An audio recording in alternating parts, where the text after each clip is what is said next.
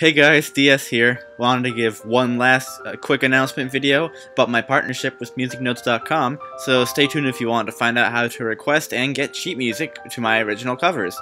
First of all, a quick Sheets update. I've just released the sheets for my cover of Kass's theme from Breath of the Wild, so go to the link in the description to get them from Music Notes. MusicNotes.com is the go-to site for getting high-quality sheet music of every song ever for any instrument. I happen to be part of their signature artist collection, collection of special sheets from pianists ranging from Kyle Landry to Taylor Davis to Atin Piano to Sheet Music Boss and more. Here you can find sheets for your favorite arrangements from all your favorite artists, including me of course. Getting sheets from Music Notes is guaranteed to be the best quality for your buck. Take it from me.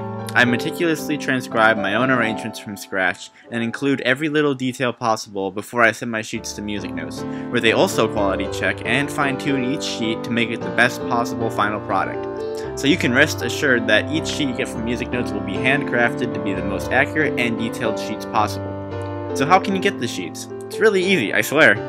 Either go to musicnotes.com and search up DS Music, or go to the Music Notes link that I put in the description and from there you can see my entire catalog of sheets and what videos they associate with. Don't see the video you want? Just comment on the video and bug me about it. Like, a lot. No, seriously, bug me a bunch, because I'll probably forget. I mean, uh, I need a bit of poking to get work on it.